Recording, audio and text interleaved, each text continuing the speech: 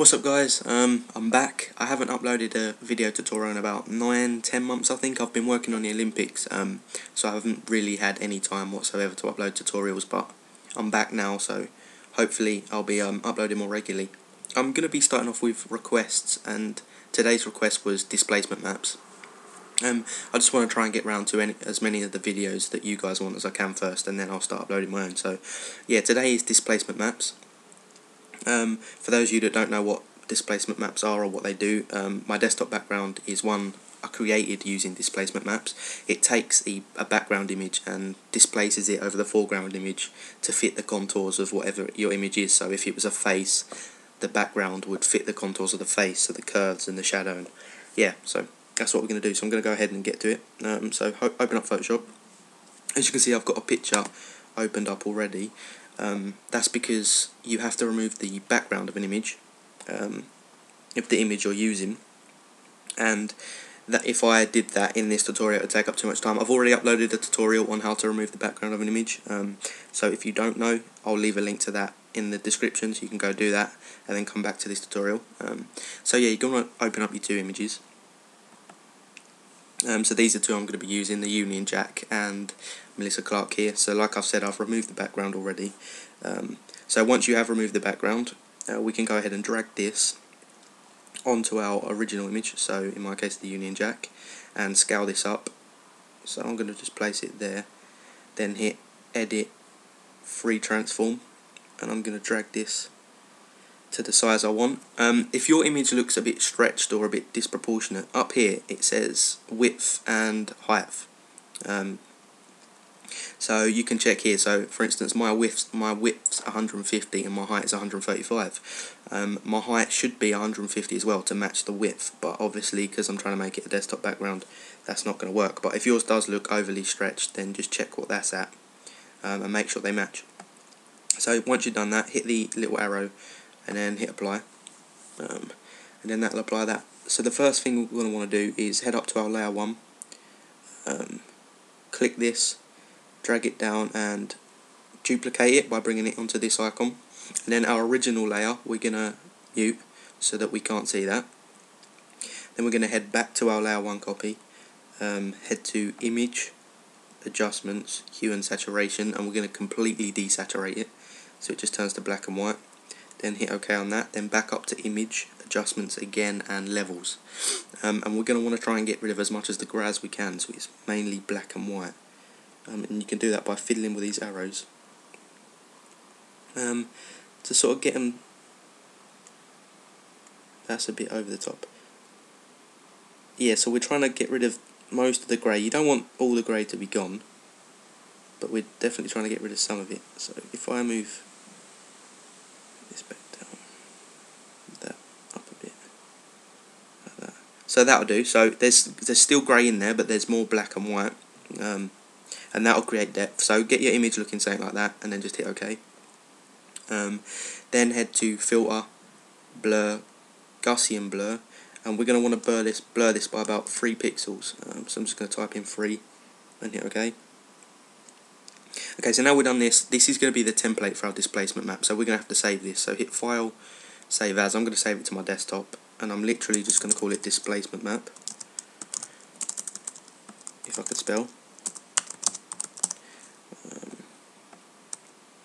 oh my god. But you know what, that'll do, yeah. So I've missed an A and everything, but... So I'm going to save it to my desktop as a Photoshop file. I'm just going to save that um, OK the little pop-up box.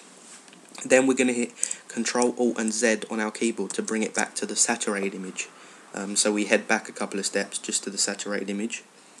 Then on our background, we're going to click on that on the layers tab and duplicate this as well by dragging it onto the same icon as earlier, this one. So duplicate that. Oh, I missed. So yeah, duplicate that. Then drag this to the top of the layers tab so it's overlaying the other three layers um, and head to filter distort displace.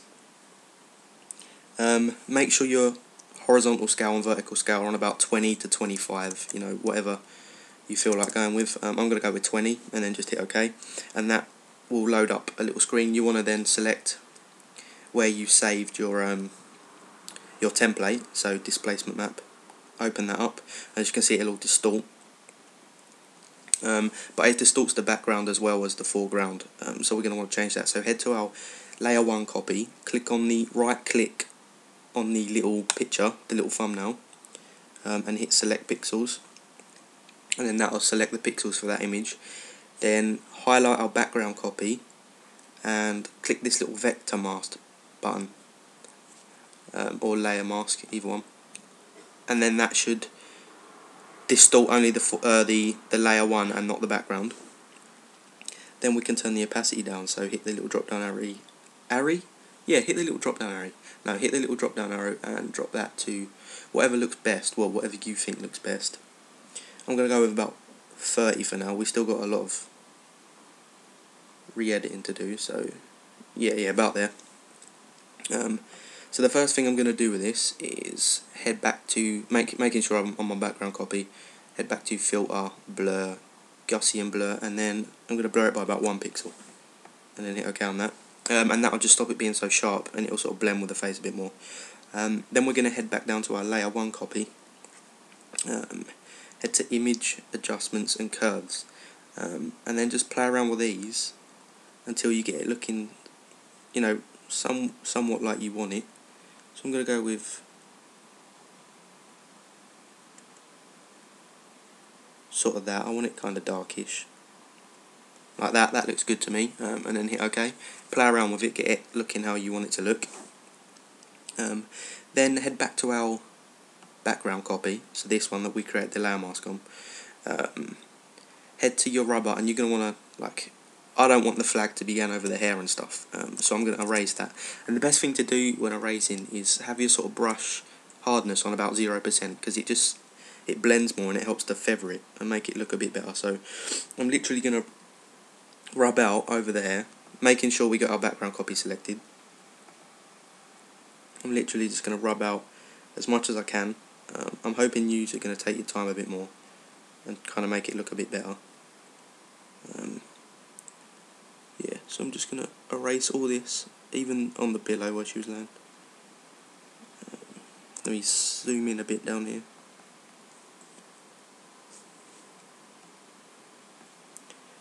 like this. Now, once you've finished erasing the hair, or whatever, or if, if you want to erase the hair, that is, I then move to erasing from the eyes because obviously it overlays the eyes and you don't want that. Um, so again, I'm keeping my my eraser hardness on around about 0% because it just helps it to blend. Um, and then I'm going to select my eraser, size up the square brackets, left one makes it smaller, right one makes it bigger, and just erase as I can and try and get it looking as natural as I can. So I'm going to go over the eyelash but not on the skin because I don't want any grey showing. Any grey from the skin um, like I've just done there like so fit this to screen see how that looks. Yeah that looks decent enough. Um, right so I'm going to go ahead and do this with the rest of the face um, like the facial features and then I'll be right back. Okay I'm back. Um, so I've erased the flag from the eyes um, and a tad from the nostril. When you when you're doing like any dark areas that you don't want to have the flag over or you just want them to be the original colour kind of try and dab um, with the eraser instead of just erasing because then you're going to get more solid lines. The more you dab, the more feathered it's going to look and the more like blended and natural it's going to look. So yeah, um, I thought I'd show you how I do the lips because they are really hard to get. Um, they can look really fake um, if you if you don't get the blending right. If they're really sharp, it looks really fake. So I'm literally just going to again with my brush on zero. I'm going to keep it quite big because um, the bigger the brush, the more the feathering. Um, so once I've finished, I shouldn't have gone that far. So yeah, I'm literally just keeping the brush fairly big, uh, maybe a tad smaller when getting into this bit, but again, dab there, uh, fit that to screen. So that looks fairly natural, I guess. That looks kind of bad there, but um, I couldn't do anything about that. So yeah, um, take your time with yours and try and get it looking as good as you can. I'm trying to rush because I don't want to waste too much time in the the tutorial.